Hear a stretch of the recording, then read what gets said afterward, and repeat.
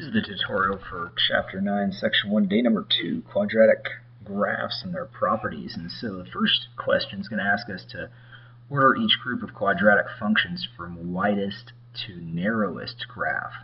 Well, the first thing I'm going to look at is when we're dealing with these functions, they're all going to be in this form. y equals ax squared. Or instead of y, they might use function notation, f of x equals ax squared. So I'm going to refer to this a term, and this is what's going to determine, this term determines, determines the width, the width of the parabola. And so let's try to figure out which one's going to end up being wider and which one's not as wide. So let's take a look at these values. So here we've got y equals 4x squared. So if I just look at a couple points on a t-chart here, and so I'll go ahead and just put in the 4x squared here and then a y term, and let's take a look at 0. Whenever I plug in 0, no matter what value it is, you see how it's going to end up making 0 for the y value, because 0 squared times by 4 gives me 0. And so for all of them, each of them, they all have 0 for the output when my input is 0, and you'll see that. And so we'll go ahead and write all those in there. So we got the negative 2x squared. Plug in 0, we get an output of 0. And for y equals negative 6x squared, we go ahead and plug in a 0 and we'll end up getting 0. So what's going to make it wide? Well, let's find out. Let's go ahead and plug in a 2. And so if I plug in 2 for x, I go ahead and square that. You see I get 4. But then I got to multiply it by 4, and that gives me 16. And so if I do the same thing for this one, I plug in 2, and I go ahead and square it, and then I've got to, I get the same exact thing. I get 4, but then I have to multiply by negative 2, and I get negative 8. And for this one, when I plug in 2, go ahead and square it again, I get the same exact number. I get 4. 4 squared it times, or 2 squared is 4. 4 times negative 6 makes negative 24. So which one's wider? Well, if we look at it, if we think about the graph here, I'll go ahead and put 0, 0 this point here. If I go over two spaces, I have to go up 16 spaces. So either direction, I end up going up 16 spaces. And so it's going to be very narrow here. And for this one, it goes the other direction, but you can kind of see what it looks like. So here's 0 and I go over two spaces to the right or to the left, I go down just eight spaces. And so it's not going to be as narrow here. It's not as narrow because I didn't have to go down as far. And this one, I start at 0, 0, and I go over those two spaces. And I end up having to go down 24 spaces, so it's much further I have to go down. So you can see how I went over the same number of spaces, but I had to go down much further with this one. So this one is the most narrow one. So this is very narrow. And they're all kind of narrow in this case, but this one is the narrowest. So that's what we'll call it, where this one is the widest. And so how did it work? Well, we had y equals negative 6x squared, and we're going from the widest to the narrowest. So actually I need to fix that. So we're going y equals negative 2x squared. And then, fix my 2, negative 2x squared. And then I had y equals 4x squared. And then the narrowest, the narrowest one was y equals negative 6x squared. So what made it narrow? Well, what made it narrow is the a term. That determines the width. And so what we saw is if the absolute value absolute value of A. So it doesn't matter whether it's positive or negative. So absolute value just makes it positive. So the absolute value that is going to end up being the narrowest, absolute value of the narrowest is the largest number. So the absolute value that is largest will end up being the narrowest. The absolute value that's the smallest will be the widest. So the absolute value of the smallest will be the widest. So that's fine for problems that are just integers, but we also have some that are fractions as well. So let's take a look at those. So if I go ahead and try these values, we'll go ahead and plug in my numbers into our table here and just pick some values to make the problem easy. So we'll pick 0 again, and you see no matter what value, no matter what the equation is, whenever you plug in 0, we're going to end up getting a y value of 0 since there's nothing being added to the x squared term.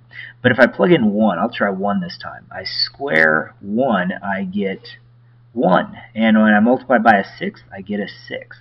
And that uh, is going to be pretty small. It's definitely a, a small number. Let's check out the next one. And so if I go ahead and plug in 0 again, I get 0 for my output when my input is 0. But when I plug in 1, this time I'm multiplying 1 by a fourth. And I only get a fourth, which is actually wider. See, there's less parts to make a whole, so it's going to be a wider number. And then if I plug in a 1 half, or a 0 in for this 1 half x squared, I end up getting a output of 0 again. But when I go ahead and plug in 1, I square it, I get 1 again, but then I have to multiply it by a half and I get a half. So you see how this is the narrowest here. It's the narrowest, and this is going to end up being the widest. And we'll be able to see that when I graph this. See, if I go ahead and graph this, start at 0. Well, if I go over one space, I can only go up a sixth of a space. So a sixth is really close to that, to the x-axis there. So it's going to end up looking like this. Where when I go ahead and try this next one, I'll make that line a little bit straighter. And I'll keep the values about the same distance apart. So if I go over 1 here, oops, let me go ahead and fix that. When I go over 1, I end up going up a fourth, so it's quarter of the way up. So you can see how it's going up a little bit faster. And then when I try the 1 half, I end up going up a half of space. So you can see I'm up further, and so that is going to end up being more narrow in this case. So what could we conclude? Well, I know the answer goes this way. We're going from the widest to the narrowest again, so it goes 1 half x squared, and then it goes y equals 1 quarter x squared, and then the last one's y equals 1 sixth x squared. So what made it more narrow? It's the a term again. That determines the width. And so what we can say is the absolute value of the uh, the absolute value that is closest to 0, we'll say.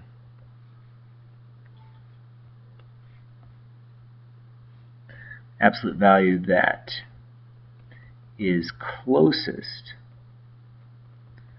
to 0 is the narrowest, or is the widest the one that gets further away is going to end up being more narrow when we're dealing with fractions. So we could say if a equals a fraction, we'll say the absolute value a that is closest to 0 is the widest. And so that's what we're looking for there. So that's going to help us determine what these graphs are going to end up looking like. So let's take a look at another problem here. Here we have to graph these quadratics. And so what we're going to end up using is what I call a parent graph. And the parent graph is just that part that we were looking at, the y equals ax squared. It doesn't matter whether it's y or f of x. And so it's the a term that's changing things. And so when I look at this one, if I go ahead and plug in some values, so here I've got x squared plus 1. So what's changing it is that positive 1. And see, if typically when I plug in 0 for x, I get 0 for my output. But here I don't, because I have this extra term I have to add on. See, I have 0 squared plus 1. You see, that's going to bring me up one space. Where if I plug in a 1 or a negative 1, it doesn't matter whether it's a positive or negative 1, because when you square a positive, you get 1. You get the same number as when you square a negative. But then you have to add 1 to it, and so that's going to give me 2. So again, when you plug in positive or negative 2, so plus or minus 2, and you square that, you always get 4. And then you have to add 1, that's going to bring me up 5. So every single time, you always end up going up one higher than where it would have been if that 1 was not there. So if I was to sketch this, go ahead and draw an axis in here, it would end up looking like this. So it goes up one space. If I go over 0, I go up 1. Over 1, I have to go up two spaces over 2 from the origin again, I go up 5 spaces. So that's 2, 3, 4, 5. So it's the same shape as the other quadratics that are just x squared.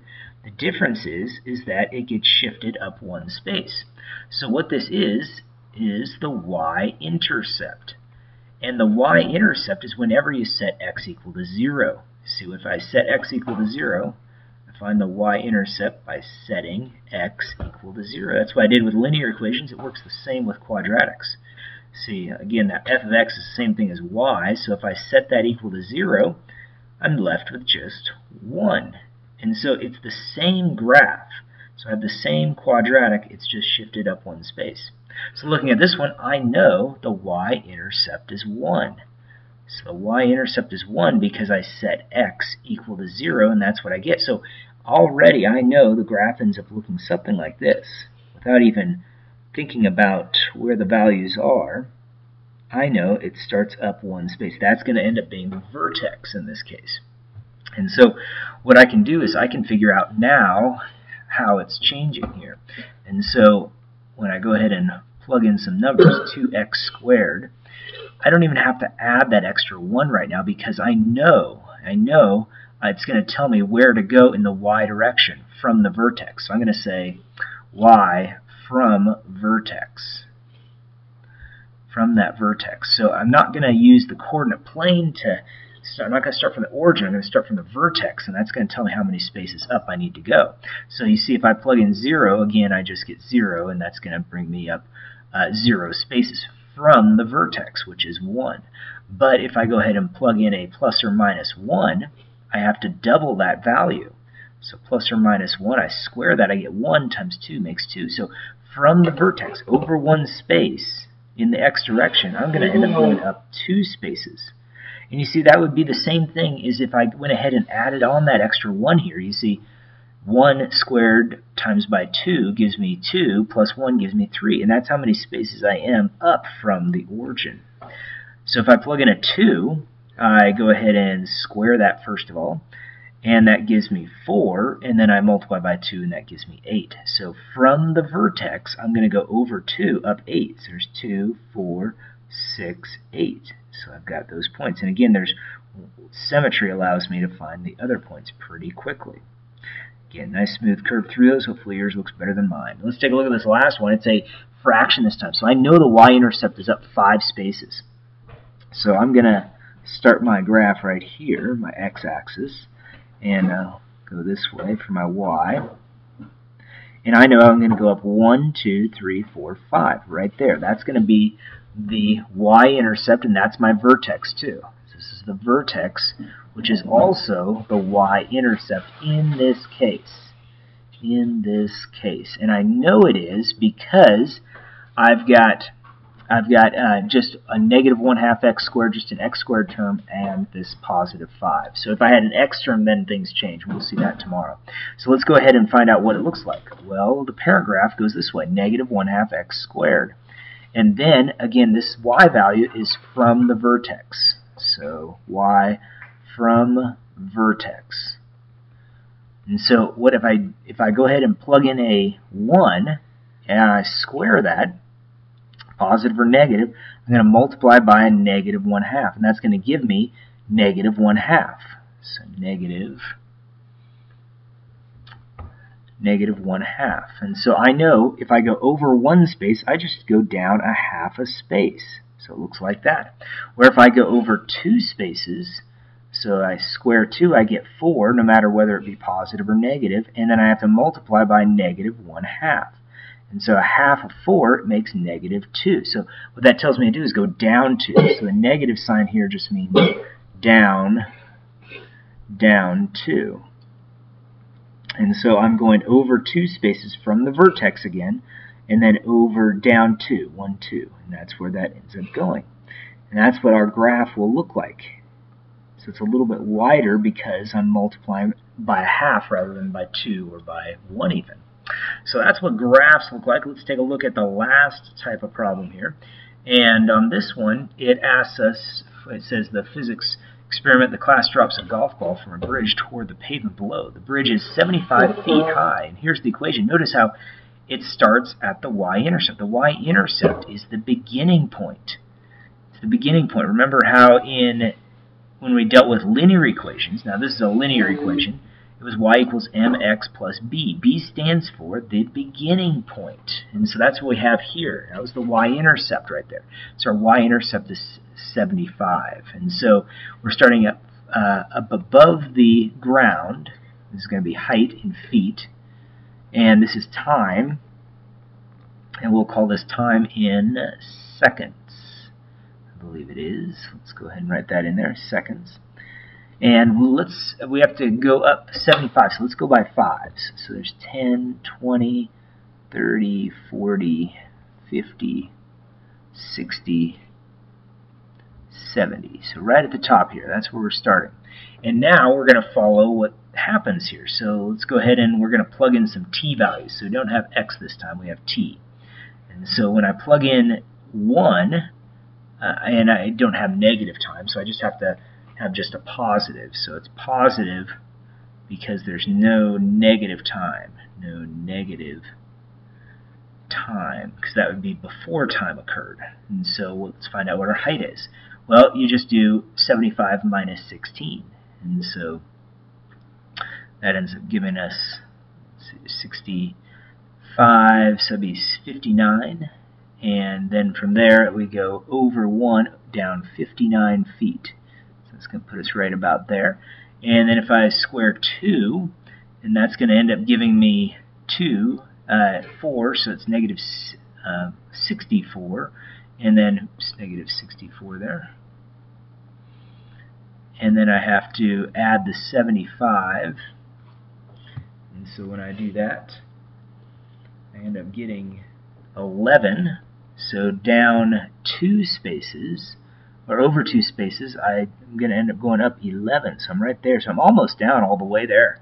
And so if I go three seconds, and so that's 9 times 16, and so that gives me 144.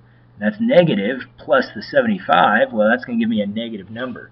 And so minus 75 from that gives me negative 69. So I know I'm already down below that axis. And so it's going to look something like this. It goes down, again, a smooth curve. And it's going to go right through to a little bit beyond. So maybe about, this is just a guess, it's about 2.2 to 2.3 seconds, somewhere right in that range there. Well, look at this next one, same sort of thing. This time we're flying an airplane, 1,000 feet above the ground, and give a package, or it looks like they must be dropping a package, food and medicine, uh, from 1,000 feet. So let's go by tens here. So this is going to be 20, 40, 50. Actually, I'm going to have to go by hundreds. So let's fix that since I have to get up to a thousand. Hundred, uh, see, I'll go, this is a hundred, so this will be 200 here. So 200, 400, 500, 600, 700, 800, 9, let's see here, 2, 4, this should have been 6. So let me fix all these real quick. And I'll make that 4 look a little better too. Alright, so now we're set. So 400, 600, 800, and 1,000. Okay, so there's where we start. And so now we'll take a look at our graph here. So t, and I'll plug in my numbers here, negative 16t squared plus 1,000, and we'll come up with our heights. And so you can see when we plug in 1, we get negative 16 plus 1,000, and that ends up giving us a 984 so we're not going down too far. So there's 900 so 984 is going to be pretty close. Again this is time in seconds. And then again this is 2 4 6 8 and so on and 10 there and then if I go 2 seconds That's going to give us 4. That makes negative 64 plus 1,000. And then we have 1,000 minus 64. That's going to give us 936. We still haven't gone down too far. So we're still above the 900 mark. But then when we go and plug in 3, 3 squared makes 9. And 9 times 16 gives us 144. And so when we do 144 minus 1,000, and that gives us 856. So now we're starting to move down a little bit more. So 856, somewhere in there. So let's move up a little bit. Let's try 6.